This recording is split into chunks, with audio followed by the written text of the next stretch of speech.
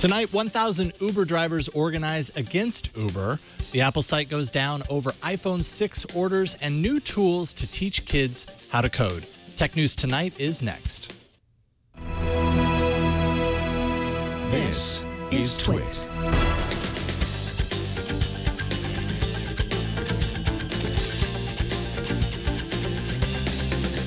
This is Tech News Tonight, episode 171 for Friday, September 12th, 2014.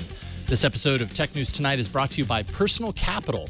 With Personal Capital, you'll finally have all your financial life in one place and get a clear view of everything you own. Best of all, it's free. To sign up, go to personalcapital.com slash TN2. Hello, everyone. I'm Jason Howell. Let's get right to the tech feed.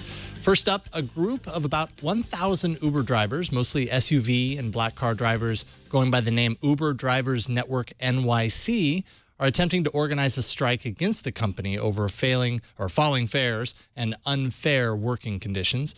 The group has planned a protest outside of the Long Island City Uber office on Monday morning after refusing to drive for the service yesterday, today, and tomorrow. One issue is that Uber has extended a summer discount into the fall, which decreases drivers' wages. The group also claims both SUV and black car drivers have been forced to accept requests for Uber X at a lower rate if they are within the area and are temporarily suspended for only choosing to accept SUV or black car requests. And in other Uber growing pain news, the California Public Utilities Commission sent a letter to the company yesterday to clarify that state law prohibits what are known as charter party carriers from charging fares to individuals rather than charging a total amount to all passengers. This law applies to Uber's latest service, Uber Pool, that allows riders with similar requests to share an Uber and pay a reduced rate. Uber competitor Lyft received a similar letter from the CPUC regarding its ride splitting service Lyft Line. And in a statement to Recode, argues that, quote, Lyft Line is helping to improve daily commutes and reduce traffic, ultimately contributing to carbon reduction and improved air quality in the process, end quote. Now, sounds like another fight for new regulation is on the way. Oh, goody. Apple's new iPhone 6 and 6 Plus went on sale online this morning at midnight Pacific time, uh, but not without some frustration for those in the U.S. who got up early or stayed up late to be one of the first to pre order. Apple's online store in the U.S. was down for two hours and 25 minutes. Apple's in store reservation system also went live this morning, but an apparent bug blocked Apple IDs with two factor from signing in to secure an iPhone 6, meaning you had to disable the security method to reserve a phone. Given Apple's recent iCloud security troubles, this seems odd. Now, despite the hiccups, an Apple representative tells Recode that the overnight sales of the new iPhones set a record, though didn't say how many have been sold. And Apple Pay, Apple's new mobile payment initiative that the company announced on Tuesday's iPhone event, is launching in October. And, de and, details about how it works are starting to emerge. The Financial Times reports that Apple will receive 15 cents out of a $100 purchase from partnering banks and financial services, a cut that Google does not receive for its rival payment service, Google Wallet. Now, Apple Pay uses a token system built into NFC that encrypts every step of the payment process, then further secures it with its own Touch ID fingerprint authorization system. The company says the program will work with more than 220,000 uh, US when it launches. Speaking at an investor conference, AT&T CEO Ralph De La Vega announced that the company will embrace Wi-Fi calling in 2015 as a complement to its core service. The statement was likely in response to T-Mobile's announcement earlier this week that it would offer Wi-Fi calling. And during I Apple's iPhone event, T-Mobile was the only carrier included in a, in a slide explaining that the new iPhone models will also support Wi-Fi calling. De La Vega call, uh, says AT&T plans to offer calls that can seamlessly hand off between the Wi-Fi network and the LTE network, though the company hasn't yet launched its voice over LTE service. And earlier this week, we told you how Facebook appeared to be gunning for YouTube by placing more emphasis on video plays on its service. Well, today, the Wall Street Journal reports that Facebook has reached out to some of YouTube's biggest content producers and encouraged them to test distributing their videos on Facebook, citing people familiar with the matter. A source also tells the journal that Facebook and video content creators are discussing how advertising might be incorporated into these videos, and that it's likely that some sort of ad product will be rolled out by the end of the year.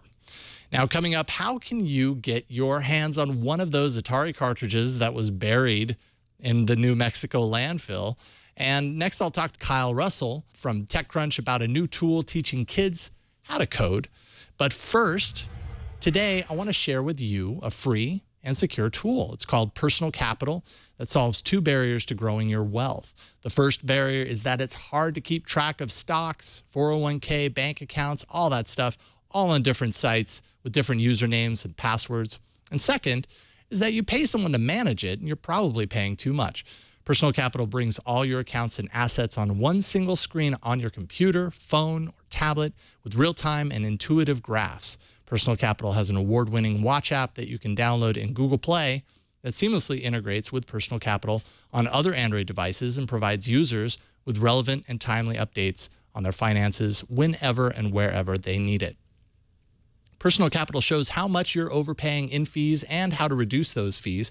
You also get tailored advice on optimizing your investment. So why wait? Signing up takes just a minute and it'll pay big dividends. Personal Capital gives you total clarity and transparency to make better investment decisions right away. To set up your free account, go to personalcapital.com slash TN2. Personal Capital is free and a smart way to grow your money. And we thank Personal Capital for their support of Tech News Tonight. All right, joining me now is Kyle Russell, writer at TechCrunch. How are you doing today, sir? Welcome to Friday. I'm doing pretty well. Uh, it's been a long week with TechCrunch Disrupt SF happening, but uh, we got through it and everyone survived. Everything's okay. You made it. Uh, you almost made it to the weekend. It sounds like this is probably your last uh, requirement for the week. So I'm sorry to be the one to keep you from getting to your celebrating. But no, it's my pleasure. Thanks for having me on. Absolutely. So you wrote yesterday about Code.org, and their newly uh, launched curriculum aimed at teaching kids how to program called Code Studio. So first, why don't you tell us a little bit about Code.org and what their mission is? Code.org is a nonprofit organization dedicated to getting computer science and programming curriculum into schools nationwide. Uh, they're probably most well known for their Hour of Code uh, project, which you know got people like President Obama to go you know on YouTube and say like, "Hey, I spent an hour learning how to do this." Um, and because of those efforts, they've been, you know, they've just been excellent at, you know, getting their word out there. Um, through those efforts, they were able to bring in for Code Studio people like Mark Zuckerberg and Bill Gates to actually film segments introducing core concepts, which I thought was really cool. Um, so the point to Code Studio is that, you know, while you can say that you want to get uh, computer science curriculum in schools, most public school systems aren't really equipped to you know roll those things out. Um, so it provides uh, two ways for people to sign up. One is you know kids who are just interested in computer science can find this themselves and get an account set up really quickly. The other way though is that teachers or you know people who run the computer science labs or libraries at K through 12 institutions can sign up for these programs and manage uh, lesson plans for students grades K through 12. And what's really cool about Code Studio is that this isn't just you know a set of easy to use tools. They actually thought out uh, puzzle-based lesson plans for every age.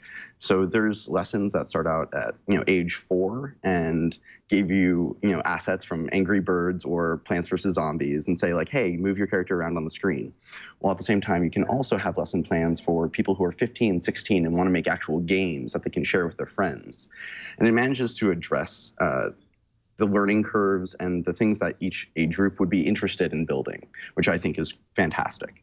How how accessible is this to both students and teachers that want to get kind of involved in this? Is it just entirely web based, um, pretty easy to get involved with?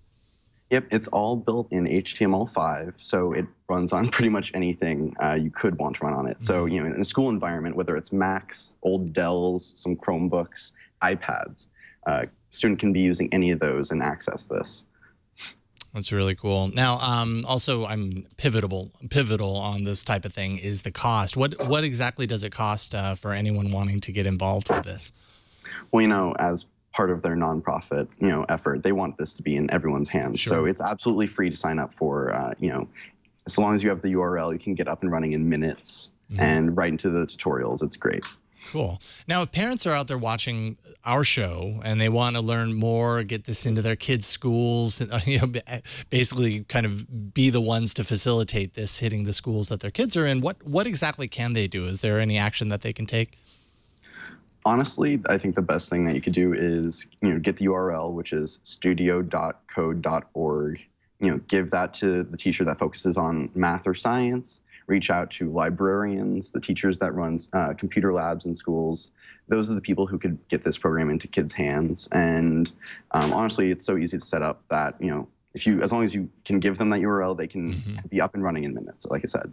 Oh, super cool! I love it. I've got I have a four year old daughter, and I love to think that uh, you know maybe someday she'll she'll kind of get into the geeky side of things as her dad has. So who knows? Maybe my daughter will do it. Yeah. yeah. exactly, exactly. Well, thank you so much for coming on the show, Kyle. Uh, Kyle Russell, of course, is a writer at TechCrunch. Where can people follow your work online? They can reach me on Twitter. I'm at Kyle B. Russell, as you can see on the screen. Um, also, a quick Google search for Kyle Russell TechCrunch will find my author page. And uh, I don't know, bookmark it. I write some okay stuff sometimes. we certainly think so too. Thank you so much, Kyle. We'll talk to you soon. Thanks again for having me. All righty. And finally, after a documentary crew dug up a large collection of failed Atari games that was secretly buried in a New Mexico landfill in the 80s, the city council has unanimously ruled that the 1,300 cartridges should be sold at auction and donated to interested museums. 800 games will initially be offered on eBay in order to determine their value and generate interest. And each cartridge will ship with a certificate of authenticity and a document explaining uh, how the Atari came to be. The documentary uh, depicting the cartridge burial entitled Atari Game Over is being produced by Xbox and is slated for release later this fall. And I personally, I can't wait to see it. Uh, that's it for this edition of Tech News Tonight. You can subscribe to this show at uh, twit.tv slash TN2. And of course, you can write us at TN2 at twit.tv. Don't miss our morning news program. That's Tech News Today every weekday at 10 a.m. Pacific, 1 p.m. Eastern. I'm Jason Howell. Thank you for watching. Bandwidth for Tech News Tonight is brought to you by CacheFly.com.